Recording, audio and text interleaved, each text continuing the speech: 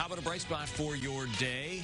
Here are a couple from Urbana. Beth sent this in. She lives in Candlestick Lane. That will officially light up for the season on Saturday night at 6 o'clock. No opening ceremonies this year because of COVID, of course, but the lights will go on for everyone to see, and they will be lit through New Year's Day. Then there are the lights at the President's House on Florida Ave. It's festive this year, and Susan says she can't remember it being lit like this. Of course, we want to see your pictures and videos, so send them on Facebook. We'll have a post at the top of our page for you to see. facebook.com WCIA3 News or news at W.